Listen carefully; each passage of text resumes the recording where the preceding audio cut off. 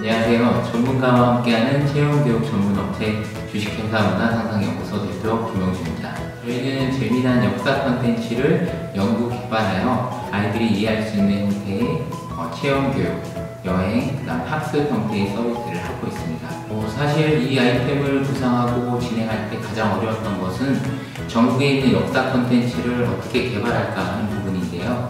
저희 같은 스타트업은 아무래도 어, 인력이 부족하다 보니까 그러한 자료들을 수집하는데 너무나 어려움이 있었습니다. 그래서 공공저장부를 저희가 활용하여서 역사 콘텐츠별 필요한 자료들 그리고 들어가는 사진 그리고 동영상들을 수집하게 되었고요. 그러한 것들을 바탕으로 해서 저희가 플랫폼에 들어가는 어, 기본적인 데이터를 만들게 되었습니다. 저희 컨텐츠는 현장에서 꼭 봐야 되는 요소들을 아이들의 눈높이에 맞춰서 알려주는 그런 서비스라고 보시면 될 것 같아요. 거기에 맞는 유적지 사진, 그 다음에 관련 지도, 그 다음에 관련 인물, 다양한 것들을 저희가 공공저장물에서 갖고 와서 활용을 하게 되었습니다. 저 같은 경우에는 아무래도 교육 서비스를 하니까 교육자료 만드는데 다양한 사진들이 필요하거든요. 근데 공공누리 같은 경우에는 정말 전문가들이 모아놓은 사진들, 동영상들이 있기 때문에 그런 부분을 어, 역사 콘텐츠뿐만 아니라 교육 서비스를 하는 업체에서는 그런 부분을 활용한다면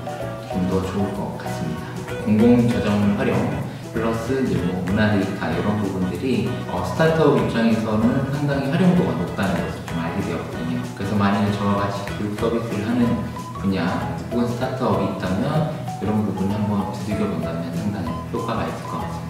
이번에 공공재장물 사업 통해 가지고 제가 상당히 얻은 게 많았거든요. 이제 보도 자료뿐만 아니라 방금 인터뷰 자료 이런 것들을 제가 활용해서 향후에는 더욱더 나아갈 수 있는 길을 만들어준 것 같아서 너무나 감사하다는 인사를 드리고 싶습니다.